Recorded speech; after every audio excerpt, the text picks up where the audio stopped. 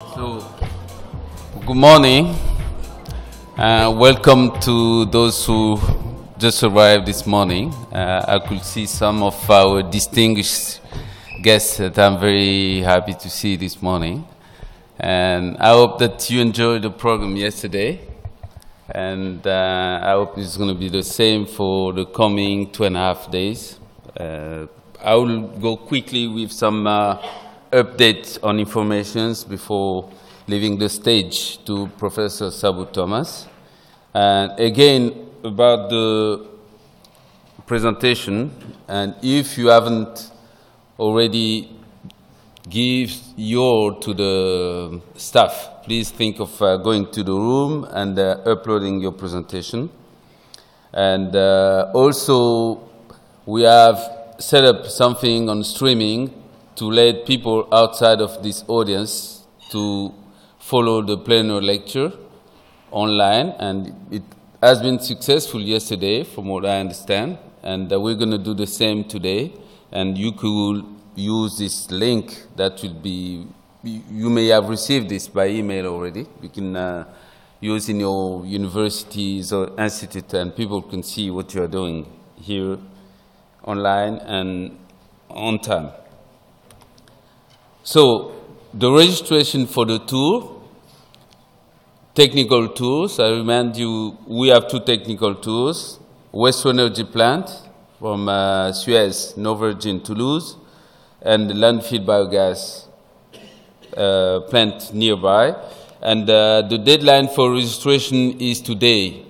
And if you're interested to do this, you have your own account. You can connect to the WasteEng with login with your account, and then you can uh, register online. And uh, we're going to stop it tonight because of uh, security checks that the company need. We are not going to be able to do it tomorrow. Please make sure that if you are interested, uh, go online, please, and make your registration. And uh, again, for Thursday and Friday, as I made the announcement yesterday, we're going to provide the shuttle bus to bring you back to the airport. And uh, there's a list outside displayed in the board, or you can talk to the reception desk to register if you're interested to benefit from these services. There is a We Are Tekoldemin, as you know. There's uh, some labs. Among those, there's a research center on particulate solid, energy and environment, where I belong to, and I'm also the director of this research center, uh, composed of uh, about under 10 persons. We have uh, quite good facilities, and we would like to arrange a visit on Thursday afternoon, right after the conference. If you are interested to visit our facility here, we can arrange uh, an half an hour tour. It's going to be quick, but concentrate on the activities linked with this conference. And again, if you are interested by doing this visit, and there's a list open at the registration desk, uh, you could register and we, we will arrange the visit uh, Thursday afternoon, right after the conference. And the last thing, and as you, some of you have been asking me already, that's why I added this slide. We have had a couple of WasteEng issues already. As you could see in uh, the screen, uh, we have a biannual conference. The first one was here in 2005 in the same room.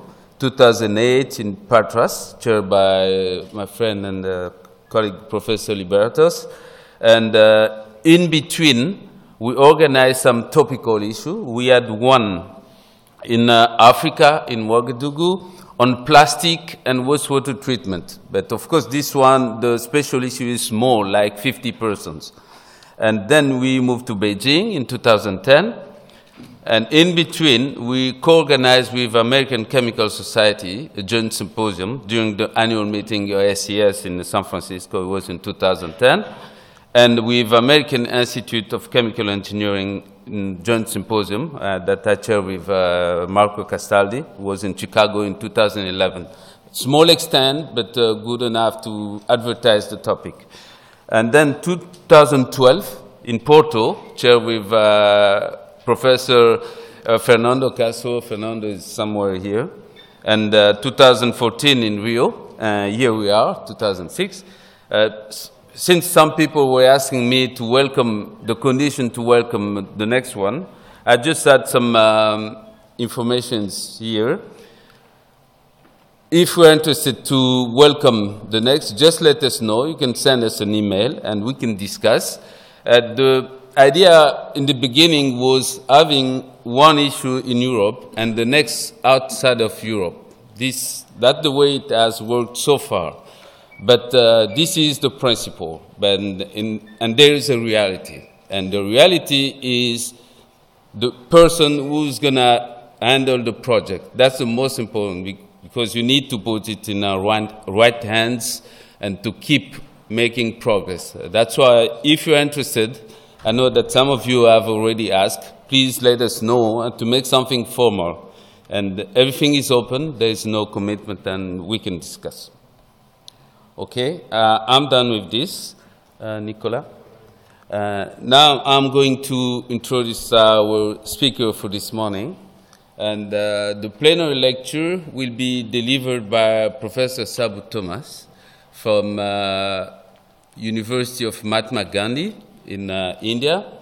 Sabu is one of the most productive scientists I, I, I know so far because uh, they have developed quite outstanding research on developing nanomaterials from, uh, let's say, natural resources that could be biomass mainly. And uh, we've um, a very interesting approach of uh, developing those nanomaterials for a very wide range of applications.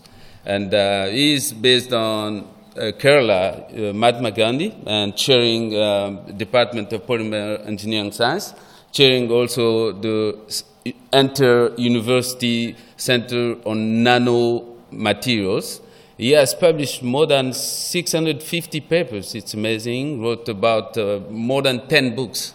And uh, I was expecting to have Sabu here uh, for a long time ago for the previous issue. We couldn't make it that's why I'm so glad you could accept to address the audience and share your tremendous experience with us.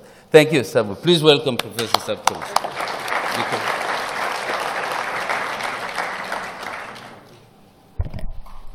Very good morning to all of you. Thank you, Asher, for the kind words. I'm really excited to be over here.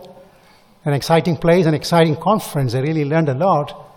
And I'd love to probably host sometime one of these meetings back in, in Kerala, in my university and I'm sure I'll be excited to do that. So what I'm going to do today is, uh, you know, take you to um, uh, some of the work we have done uh, in my group in Mahatma Gandhi University in Kerala uh, to extract nanomaterials from biological resources, especially biomass. And uh, as Ashi mentioned, I am located at um, the southern part of India. We have a Center for Nanoscience and Nanotechnology. I'm also part of chemistry faculty there. And if you look at the, uh, if you look at the solid waste uh, on a global perspective, uh, you can see that we produce something like 1.3 billion tons of solid waste annually. That's something like 1.2 kilogram per person. If you look at the situation 10 years ago, it's something like 0.68 tons produced 10 years ago. We have almost doubled now. Look at the Indian scenario. Indian scenario is also not very different. We produce something like 36.5 million tons of municipal waste annually. And if you look at the per capita, uh, municipal waste is something like 0.2 to 0.6 kilogram. If you, if you look at the, uh, the sustainability of our Mother Earth, I mean, these waste really affects the human health, uh, animal health, I mean, climate, if you don't handle them carefully. And if, I'm sure some of you, or all of you must know that nanomaterials are quite fascinating materials, they, are, they have lots of application, medicine, in energy, in environment, and advanced manufacturing process. And we have a variety of nanoscopic materials, carbon nanotube, uh, graphene, I mean, uh, metal oxides. And if you look at all these materials, you will find that these are mainly produced from non-renewable resources. And sometimes they create hazardous waste. So my interest is to, to, to make use of the biomass uh, and nanotechnology and um, the principles of green chemistry to make bio nanomaterials to, uh, to protect our ecosystem. So I'm going to focus today on how we can convert the, bio, uh, um, the, the biological waste into exciting nanomaterials. If you look at the global production of, uh, production of agro waste is something like 1.6 billion tons. And we are not really making use of these materials effectively. Countries like Brazil, India, we produce lots of agro waste. When you look at the agro waste, we have sugarcane bagasse, wheat bran, you can see a range of materials, beautiful materials. And if you use them, I mean, using green chemistry, using nanoscience and nanotechnology, we can make wonderful, exciting materials. If you look at the plant kingdom, there are lots of, I mean, plant waste materials, starting from wood is the top, the, the, the, the, the maximum, followed by bamboo, cotton, jute, kenaf. You have a range of plant material. They are very exciting materials. And if you look at these plant fibers, they are environmentally friendly materials, cost effective, abundant, non-abrasive to machineries. There are lots and lots of positive points. Societal need, underutilized. And if you look at this plant kingdom, we have beautiful fibers uh, bast fibers or leaf fibers or seed fibers or grass fibers. And if you look at um, uh, my, my interest, you know, we work quite a lot on banana plants. We go to the banana plantation and collect all this banana stalk and dry it and make use of these material for extracting nanofibers. Oil palm, we have a big industry of oil palm in the country. We have pineapple quite a lot. Coconut, Kerala is actually land of coconut trees. That's the meaning of Kerala. So these materials are fascinating. And you can extract them by, by, different ways, by mechanical ways, you can extract these fibers, but very often you damage them uh, when you extract mechanically. You can also use for biological retting process, you can get good quality fibers. And if you look at the uh, employment potentiality, you know, create lots of rural jobs, renewable resources, you can make biodegradable plastics out of it. There are quite a lot of positive points. And if you look at the price of this material, taking cotton as an index of 100, you will find that these materials are relatively cheap. The Indian market, a kilo of uh, coir fiber costs something like 20 rupees. Uh, I mean, uh, 0.3 or 0.4, uh, I mean, uh, dollars. Look at the mechanics. If you look at the mechanical properties of this fiber, they are exciting. Uh, the, the, the, specific properties are very good because the density of these fibers are 1.5, 1.25, so they give very good mechanics. As good as glass fibers if you look at the, the specific properties. Look at the chemistry of this material. This is basically, uh, it is actually cellulose, 60% of cellulose. Coir is something like 45% of cellulose. It's a fascinating molecule. You can do a lot of chemistry on this. Fascinating hydroxyl groups. Then you have hemicellulose and lignin. And if you look at the plant fiber on a macroscopic point of view, you can work in different length scale. You can work on macro length scale. In the beginning, you know, I was cleaning this fiber, chopping into smaller length and put into polypropylene and making a lot of work with many industries. You can also work in micro scale, and you can also work in nano length scale. There are a lot of possibilities with these fibers. And I am asking a question, why nanocellulose? Nanocellulose has a lot of possibilities. For example, water holding capacity, uh, crystalline material, high tensile strength, low density, high specific strength, and modulus. Uh, I mean, uh, this is a very important statement I wanted to make. These are a strategic platform for sustainable development. One of the most fascinating nanomaterials is nanocellulose because it's renewable, I mean, eco-friendly, there are different ways you can make them. You can make them by acid hydrolysis, by steam explosion process, high intensity ultrasonication process, grinding, cryo crushing, uh, freeze, uh, I mean uh, high pressure homogenization. There are a variety of techniques you can make these materials. And if you look at high pressure homogenization process, what you really do is you pass a slurry through a small I mean, orifice, and because of shear forces, you can, you can, you can make them into nanoscale. Super grinding, you grind, you, uh, I mean, using uh, two stones, you can make quite fascinating nanomaterials. You can use cryo crushing, you cool it liquid nitrogen and you grind it. You can also make beautiful nanostructures.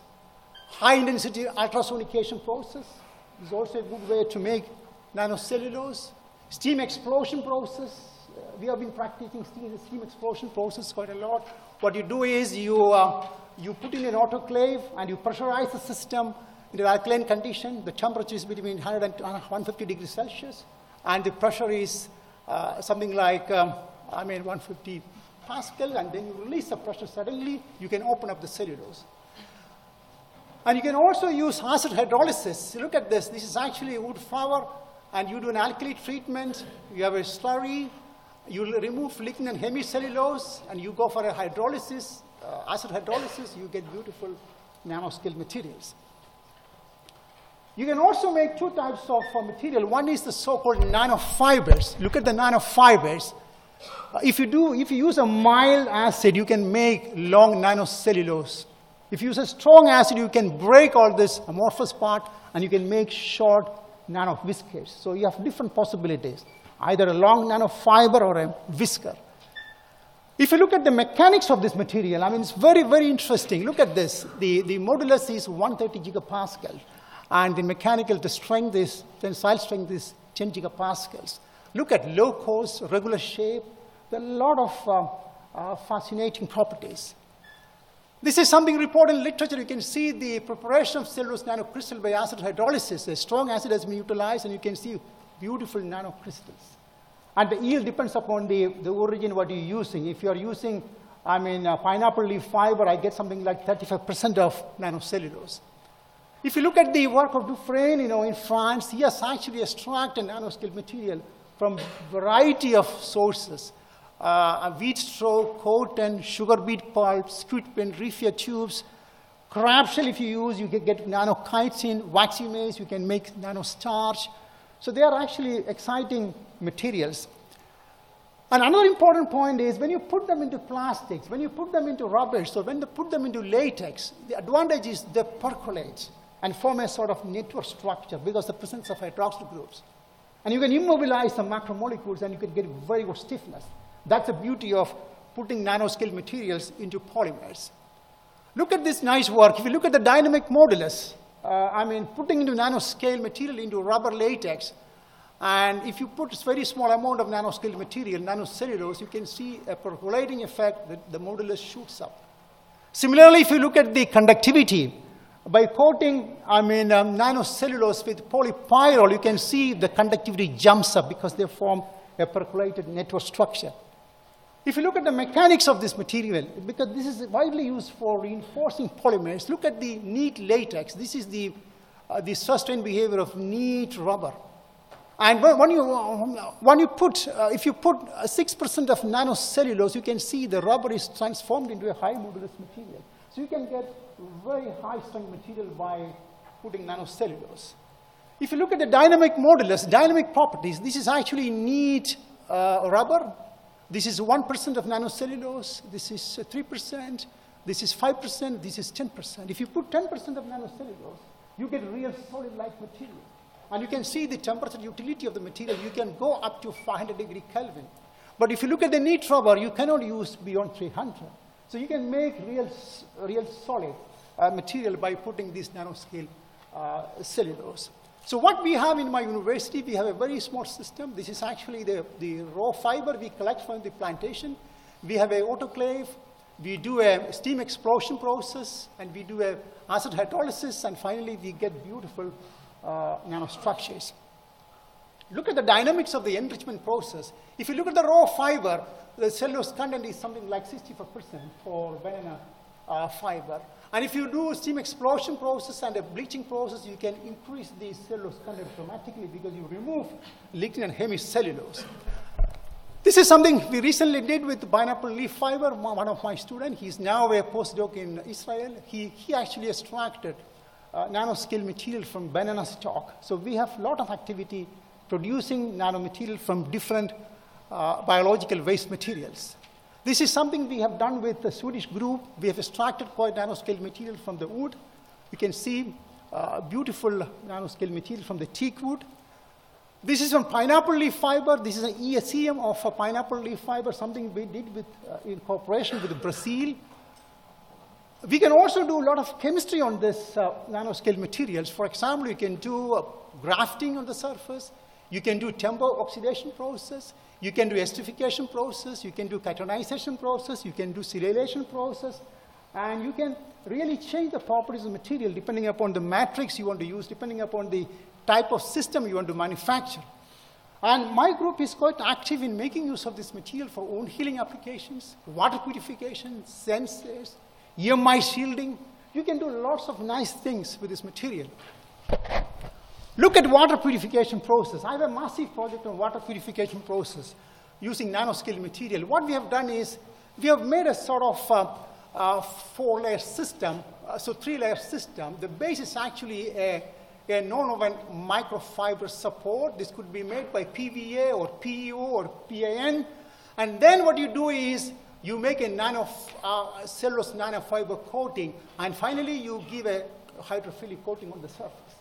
And if you make such a, such a, uh, such a uh, I mean, a filter, uh, you can use this filter for removing dyes, nanoparticles, heavy metal ions, oils, and bacteria and viruses. I can show you something we did recently. We have removed the, the, uh, the, the, the, crystal violet dye from textile industry. What we have done is we made use of a PVDF support, the base support, and then we have given a coating of nanocellulose over the PVDF.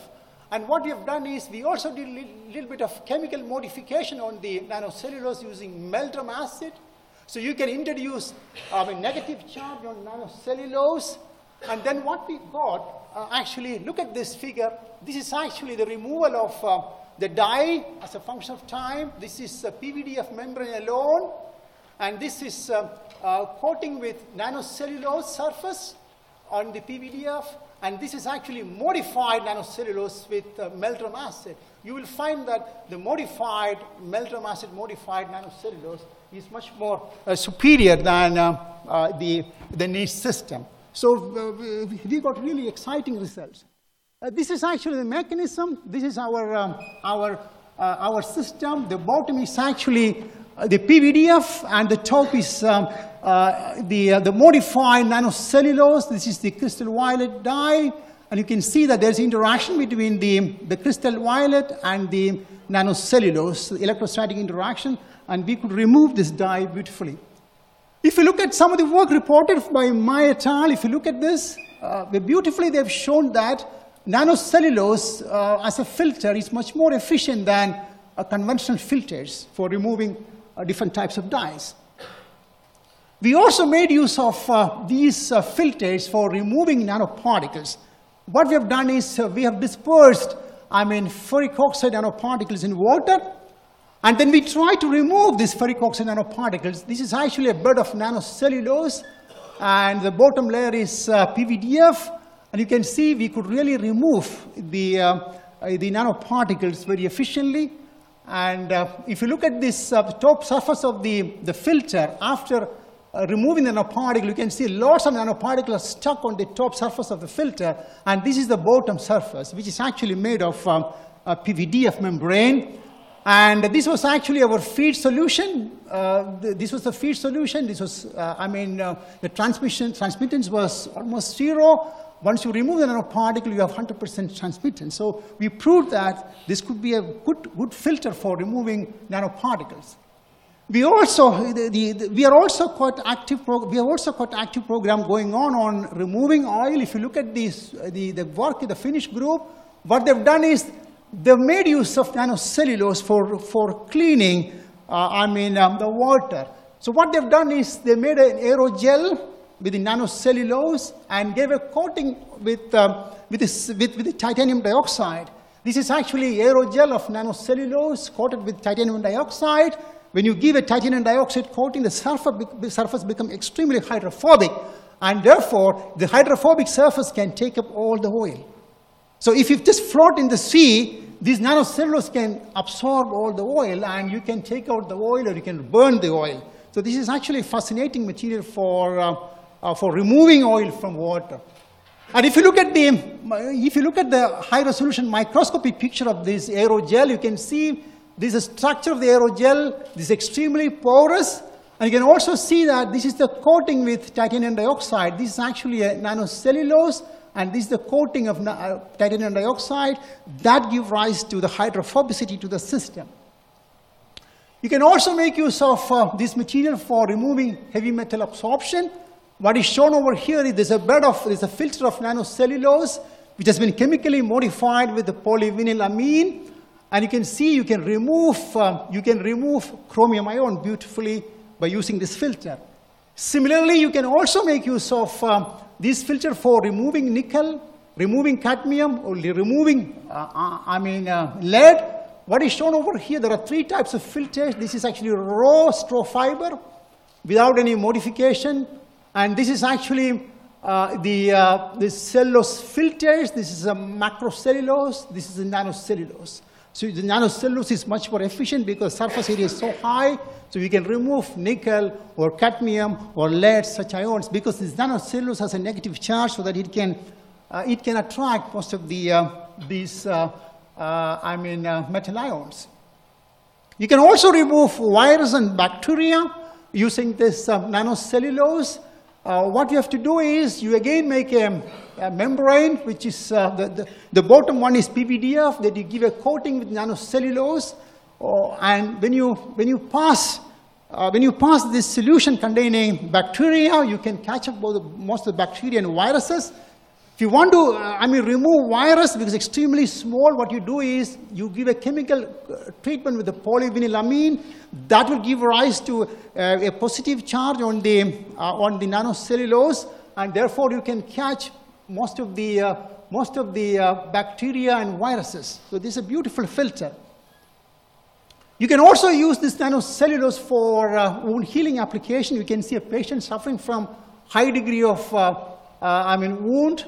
And you can make use of uh, this as a scaffold. Therefore, the, the healing process becomes faster because the nanocellulose is extremely porous.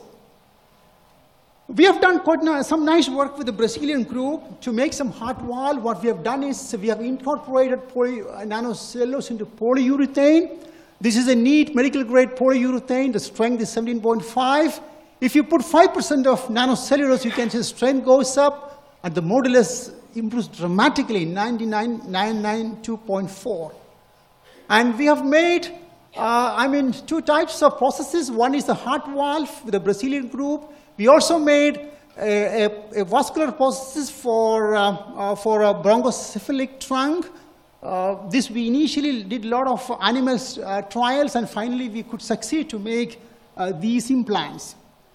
Nanocellulose is also a wonderful material for wound healing application. This is actually a wound.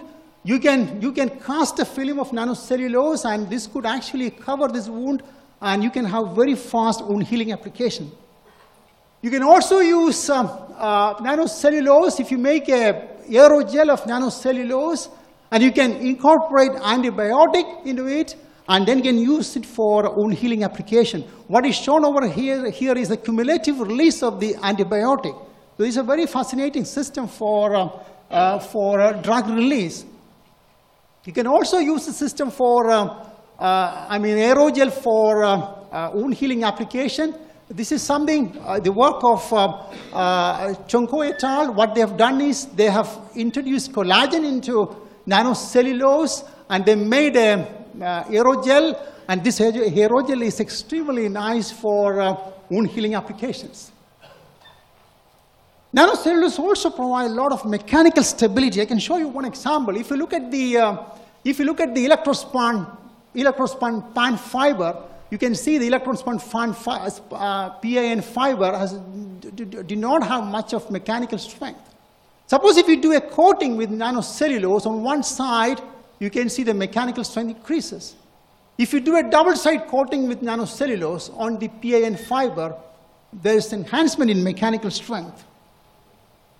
You can also use this for uh, sensor applications. I can show you a couple of examples. This is actually nanocellulose and carbon nanotube together. You mix with the rubber latex, natural rubber latex, and you make a nanocomposite, which has both nanocellulose carbon nanotube. The beauty is if you put, uh, if you put nanocellulose in water, you see beautiful suspension you get. You get a very nice suspension. If you put carbon nanotube in water, and if you keep it for 24 hours, it settles down. But if you, if you make a blend of carbon nanotube and CNC together, you can stabilize and you get a beautiful dispersion.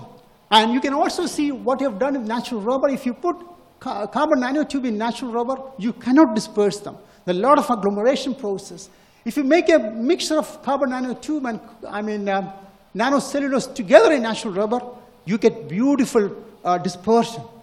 And you can see what we have done is, uh, so what this group done is, if you look at the conductivity of this material, uh, I mean, this is actually CNT volume fraction. If you look at the percolation process, this is natural rubber matrix. In order to get percolation, you have to add more than 7 uh, weight percent of volume percent of uh, carbon nanotube. But if you make a mixture of carbon nanotube and, uh, I mean, a cellulose nanofiber, you can push the percolation threshold to very low concentration. And you can make conductive, um, uh, conductive natural rubber. If you look at the mechanics of this system, uh, where you have a combination of CNT and, and uh, CNC together, you can see the strength is very high, the modulus is very high. But if you, if you make use of only carbon nanotube, you cannot disperse them in natural rubber latex. So the combination can uh, give rise to beautiful dispersion. Similarly, you can also make use of this material for strain sensing application. Uh, this is a natural rubber matrix. If you have a combination of CNT and CNC together in natural rubber, if you, if you stretch it, you know what happened? The, the network is destroyed and you can see the, the, the resistance increases. So you can use uh, this material, the combination of CNT and CNC for manufacturing of beautiful uh, uh, strain sensing sensors. You can also use this material for uh, chemical sensor. Look at this is actually a combination of nanocellulose and graphene oxide. Again, you put into natural rubber latex, and you make a percolating network of uh, graphene in natural rubber latex. And this is a combination of CNC and nanocellulose and graphene oxide. If you use only graphene oxide, you cannot disperse them into natural rubber. If you use a combination of these two, you get a beautiful dispersion. And you look at this electrical conductivity of the material, this is natural rubber matrix. If you use, if you use uh, I mean, uh, reduced graphene oxide alone, you see the percolation is something like um, 1.3 or 1.4, but you use a combination of um, uh, graphene oxide and nanocellulose, you can push the percolation to a lower concentration. You can also see the mechanics. You get really beautiful mechanical strength if you use a combination of nanocellulose and um, uh, RGO together. You can also make beautiful uh, sensors out of it, basically to, to sensing uh, solvents, this is actually a natural rubber nanocomposite uh, consisting of uh, reduced graphene oxide and nanocellulose together.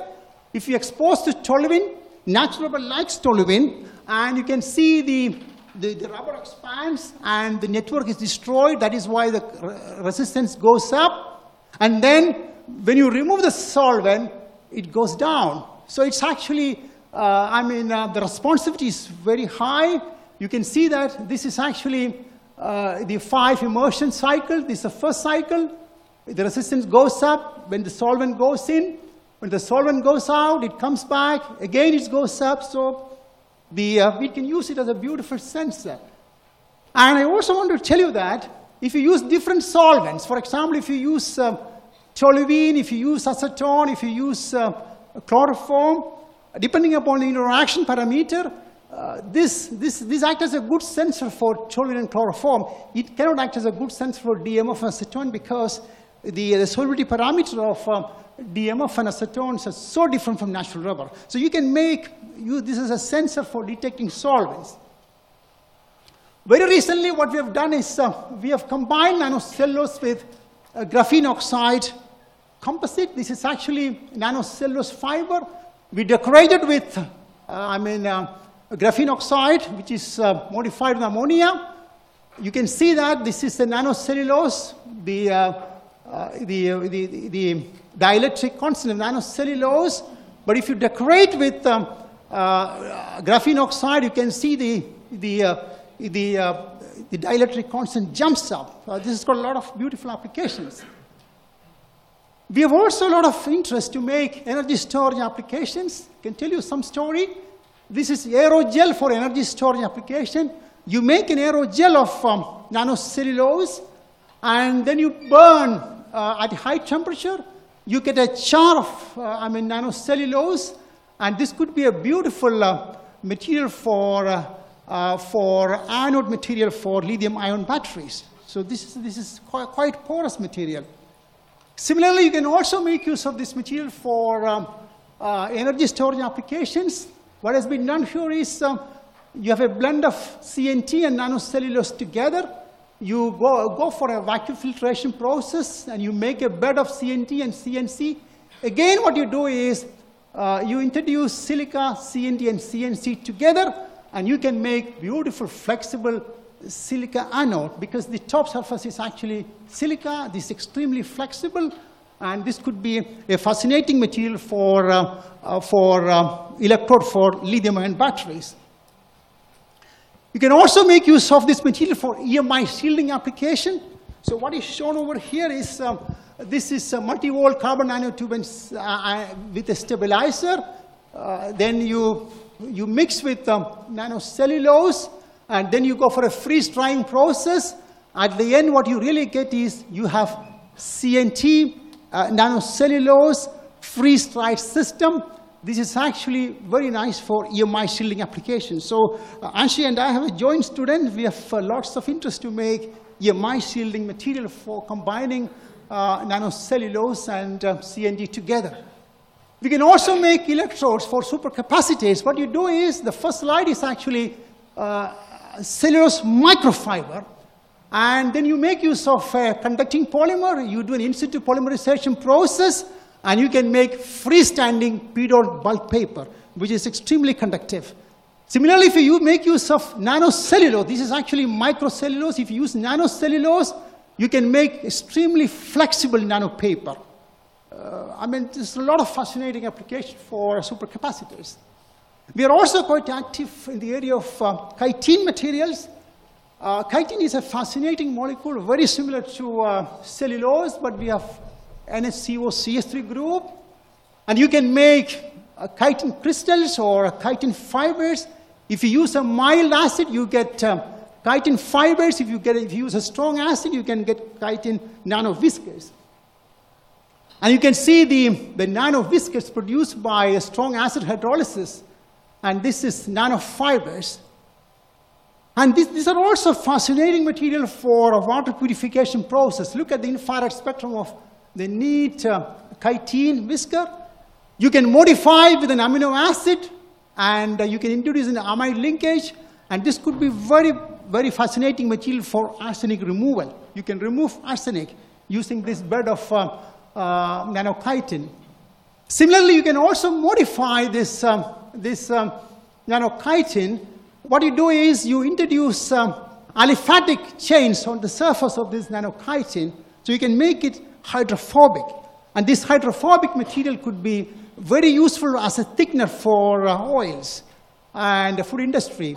Look at this. If you look at this, this is actually, uh, uh, this is actually nanochitin, which is uh, hydrophilic. If you introduce hydrophobic uh, alkyl groups, you can make it hydrophobic. And you can see the contact angle uh, goes up. This is varying concentration of the, the, the side group, which is uh, hydrophobic. If you put into water, you can see uh, nanowhisker forms a very nice dispersion, but the, the modified material, which hydrophobic groups, form lots of agglomerates because it cannot, it, it doesn't like water. That's why you have a lot of agglomerates. It was the last phase of my lecture. We are also making use of the, the waste from agro waste, where you get you know, different types of starch materials. And uh, tapioca, there's actually a big production in Kerala, we have a lot of waste of tapioca.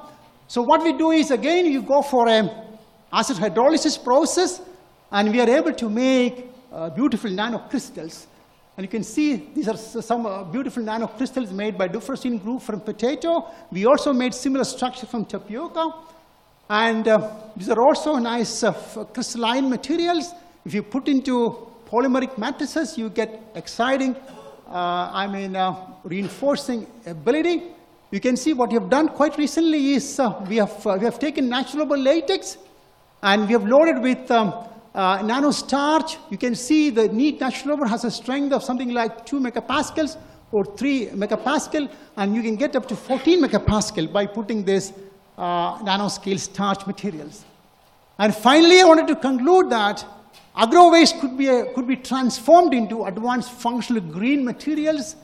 Uh, if you look at cellulose, you have beautiful nano and nano cellulose, and uh, it could be utilized for uh, reinforcing agent for polymers, water purification purposes, wound healing applications, energy storage, EMI shielding applications. If you look at chitin, you can make chitin nanofibers or chitin nanowhiskers. Again, a reinforcing material for polymers. You can use it for water purification, tissue engineering. And if you look at nanostarch, a beautiful material for uh, reinforcing polymers and for packaging applications. And I'm posing a question, can we become a zero waste globe? And I'd like to thank my co-workers. They contributed for this work, Lali, Vishak, Bibin.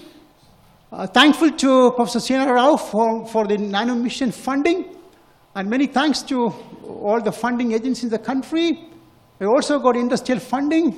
And uh, my collaborator from Plaskuni, uh, Mathew from Sweden, Yves from South Brittany, Professor Kenny from Perugia, and we started a good cooperation with Ange. We have a joint PhD student. I'm sure that the coming years we'll have a lot of results. This is my group in chemistry. I have two groups. This is my group in chemistry. You can see my collaborator from France, uh, Yves Grohens. So we have a lot of cooperation with uh, Yves. This is my nano group uh, in, the, in the nanoscience uh, center. This is my joint director of the, of the, of the nano group. And I'm from this part of the region, Kerala. Uh, this is extremely green. The temperature is always between 25 to 36 around the year. No winter at all. We get very nice fish. We have beautiful mountains here. So it's a very fascinating place to visit. This is Delhi. It takes three hours to reach Delhi. Uh, this is again a map of Kerala. You can see this is my city, Kottayam.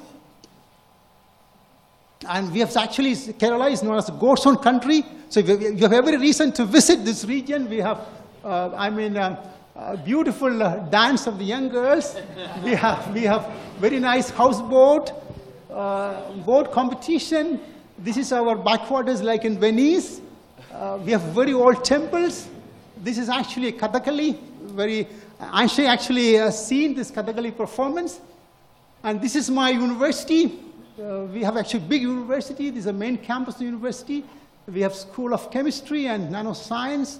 In chemistry, we have polymer organic, inorganic, and physical. And we organized a conference, actually, international conference on polymer processing and characterization. Uh, it is in uh, December 9 to 11, 2016. If you have any possibility, you're most welcome to our, uh, to our region. Thank you very much for your patient hearing.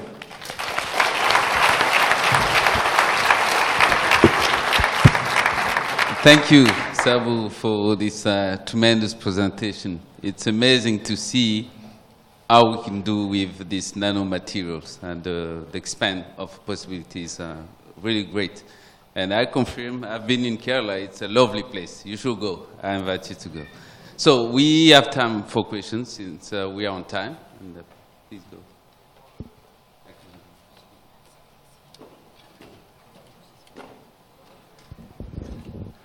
Thank you for the presentation. Marco Castaldi from City College, uh, New York. That was uh, fascinating, all of the uh, different functions that the uh, material can have. The one thing I was trying to understand was the stress-strain relationships that you were showing. And one of the last ones that you had shown was the coatings on one side or the other side. And I'm just wondering, is the performance change that you're seeing because you are making them thicker with this material. And so then you're getting that stress-strain relationship because it's a thicker material. And, and I'm curious as to how the nanocellulose actually tries to make that performance change. Very interesting question. Very interesting question, actually. The, the reason for such a fascinating improvement in the strength and modulus is to the fact that when you put these nanoscale materials into polymers, you know what they do? They percolate. And you have a very strong network in the polymer matrix. And you immobilize the macromolecular chains. We did a lot of NMR studies, and we found that the polymer chains are sort of immobilized in the network. Their mobility is dramatically reduced. That's why you get these fascinating properties. This is basically because of network formation by cellulose. You don't get this much of network in carbon nanotube. You don't get in graphene. That's the fascinating property of these wonderful biological materials. They have beautiful hydroxyl groups. They form a network. And if you destroy these hydroxyl groups by chemical treatment, you don't see this sort of improvement in the mechanics. So, so it seems that it's perhaps the polar nature of the uh, cellulose that you're using is maybe causing this? Yeah, actually, this particular case, we have made use of, we have made use of um. We have made use of nanowhiskers. They form a network, beautiful network. And uh, polymer chains are uh, attached to this network. So they are sort of immobilized. So the TG has been increased dramatically. You know, the TG of uh, rubber is something like minus 70 degree Celsius, and you just, you just gone up to 40, 50, you know.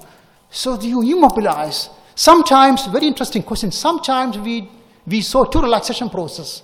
One is the relaxation of the original rubber, which is something like minus 70 for natural rubber.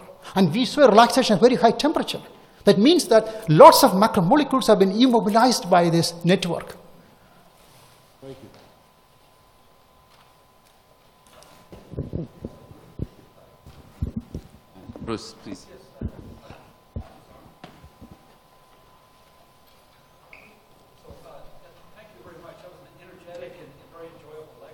I- I'm a chemical engineer, so I, I- I've enjoyed the creativity here, but I, I keep have, must ask myself, how much does it cost? So you, at, at the beginning, Yes. you outlined six different preparation ways. Have Right, you right. Have you costed those to see at what cost you can produce each of The these cost materials, of- we so have- that, we so have- that you can enter the markets that you would like to market? So this this can actually be a reality. So can, can you talk about cost a little bit? Right. The cost of nanocellulose we extracted from banana fiber, it cost the Indian market 1,000 rupees per kilo. That's something like uh, $20. We can sell it $20 per kilo, this material. So You- do you know then which markets that allows you to, to enter, and have you begun to make entries into those markets? Yes. Okay, wonderful.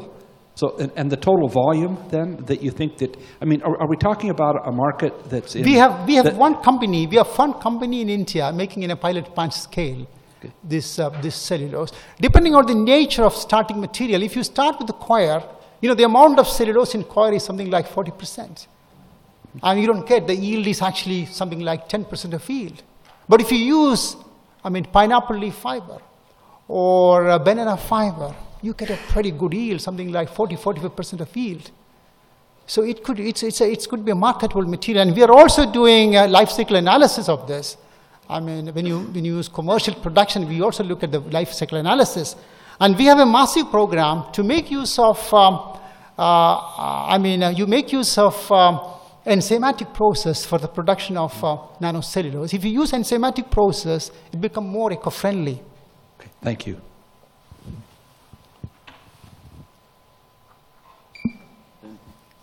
Other questions? We still have time.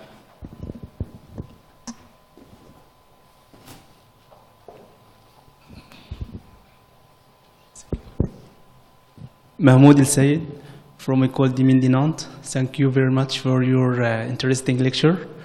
Uh, my question is, uh, exist any applications for uh, nanocellulose filter and uh, wastewater treatment, for example, uh, to remove heavy metals, also for the purification uh, of water for drinking? Yeah? Yes. Okay. We, have, we have a very massive program supported by the Department of Science and Technology in India. What we are trying to do is um, we have uh, plans to make cheap filters for water purification purpose. What we really need is we need a base material which is actually a cheap base material. It could be uh, polypropylene or it could be PET-based material, and then you impregnate this uh, nanocellulose viscous solution on the top surface. Yeah. And if you impregnate with uh, this, uh, this, this uh, commercial filtrage with nanocellulose, I mean, uh, fibers, you can get, make beautiful, I mean, uh, structures for water purification purposes. Similarly, if you want to, if you want to catch bacteria and viruses, you also do a little bit of chemical modification. If you can, if you can have some sort of positive charge on the nanocellular surface, you can, you can catch all the viruses. They're extremely small. Yeah, yeah. But bacteria, you know, simple filtration process. Because the, the porosity is so small, the pores are so small, it can catch all the bacteria. If you want to catch the viruses, you have to really treat the cellular surface and make it positive. Then you can have electrostatic interaction between the, uh, the virus, which is negatively charged, and you can catch them. Uh, We, we want to make it very cheap. We- Our aim is to make cheap filters for the villages. okay. Exist also any application for the non, uh, for the cellulose filters uh, on the cars for the motors to make a verification for the Yes, the- yes, the- yes, yes, Okay. yes. This is very Yes. interesting. Okay, thank you very much. There's a Giselle how to get to you. I'm so, as- let me see. Um, coming.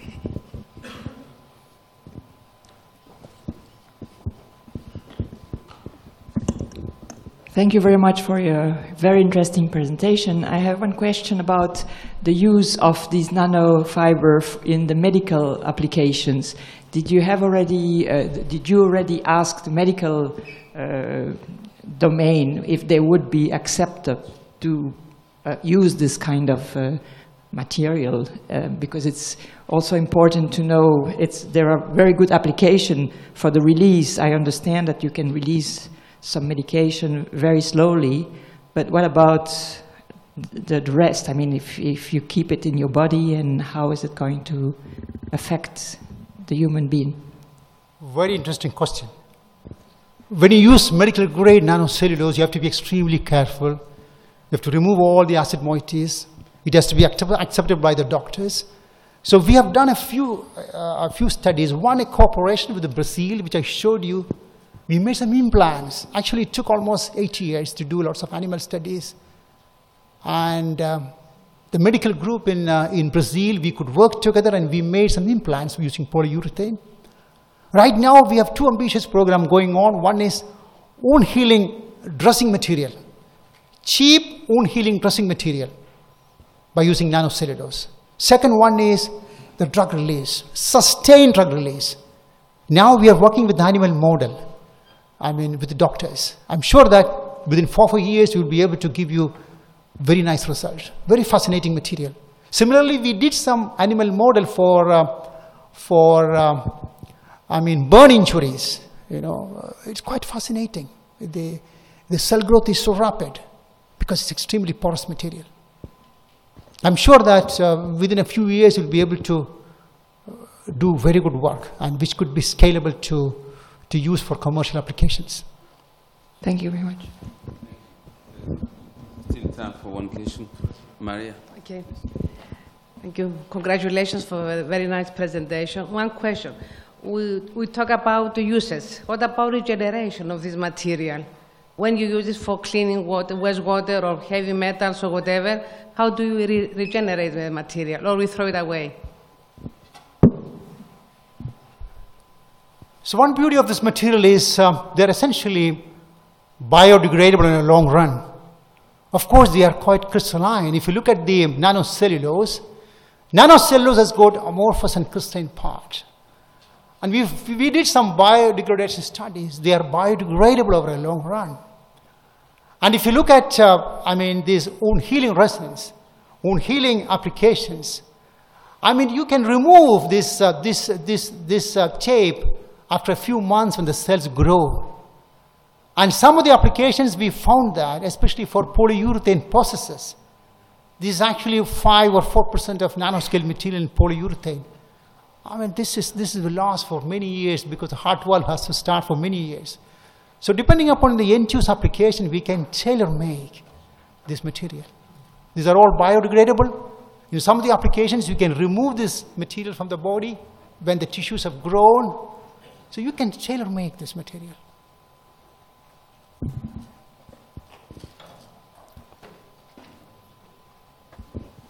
Thank you. Let's thank, uh, Thank you so much. Professor Sabu Thomas for. Thank, thank you, sir.